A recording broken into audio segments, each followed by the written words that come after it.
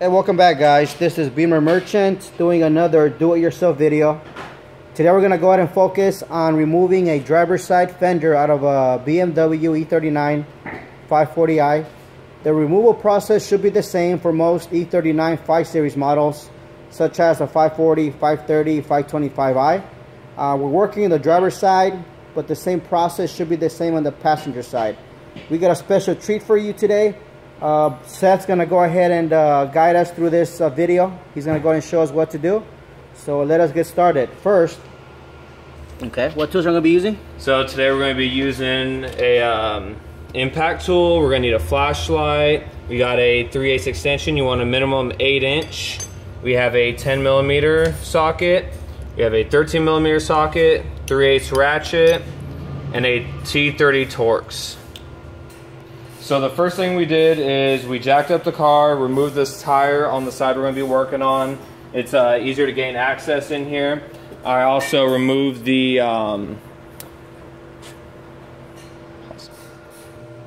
remove the fender liner to give us access to two of the or three of the bolts that are going to be in here. Those are going to be 10 millimeter bolts. I also removed the front bumper. You don't need to do this in the process, but for today we're doing it as a visual to show you the 10 millimeter going to be underneath. Right there. So um, this is all just the prep work we did. Okay, so we have three 10, 10 millimeter bolts in here. You're going to need the extension to get the two far ones that are going to meet where the door is, the door jamb. We got one up there, one down here, a little bit lower, and then we have an easy one to get right here. It's going to be going downwards.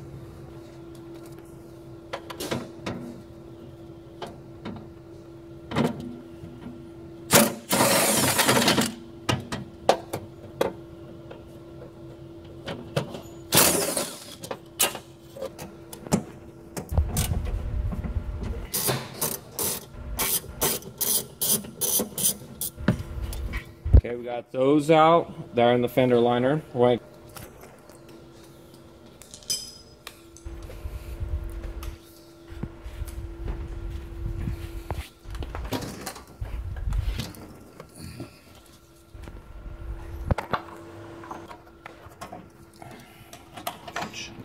Okay, now we're going to remove the little 10 millimeter the front. Okay. Okay. We also have one more back here, another 10 where the A pillar meets. So we're gonna knock that out. Easy as that, keep track of all of our bolts. All right, just to uh, re uh, recap here, it's six 10 millimeter bolts you gotta remove. Okay, now we're gonna go on the bolts, the Torx on the fender. One word of caution is these bolts, be sure that when you're removing them, put pressure on top of the of the Torx Otherwise, you can strip it fairly quickly, and if you do, you would have to go ahead and drill those out. So we're using an impact gun right now. We've also done this plenty of times, so we know what we're doing.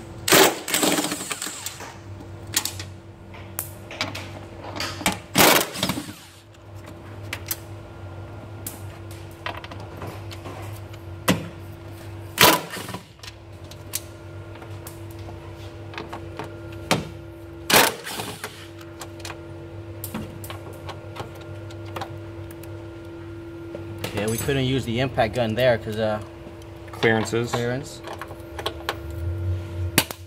Lots of downward pressure. You can hear it's cracking. Don't worry about that. It's normal. It's Loctite. All right, now we're gonna bring uh, Big Guns here. Our buddy Chris, sporting our Bimmer Merchant shirt. He's gonna go ahead and hold the hood while Seth releases, what is that, 13? Yes, we got two 13s right here that are holding the hood down for the hood latch. So we're gonna have to remove them because there's gonna be little holes that go all the way through. So we're gonna set those to the side. We're gonna be careful and let our buddy know once we're ready to pull them out so he can lift upwards and we can slide the fender off.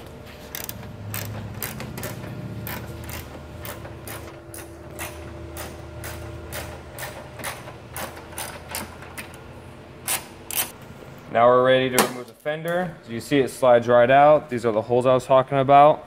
Helps guide it in, help you position the new hood. Last thing we're gonna do is we're gonna undo this clip right here for your side marker.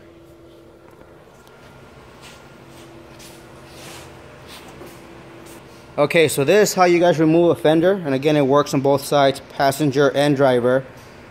And now with this, Seth, what do we do?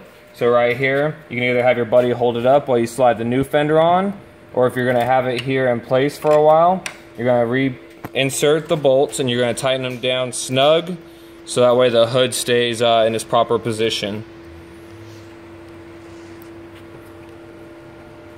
Alright guys, that's how you remove a fender. If you have any questions, com comments, let us know. If you need any more uh, pre-owned quality BMW parts, check out our website posted below. Thanks for watching. You have an awesome day. Take care. Thanks, Seth.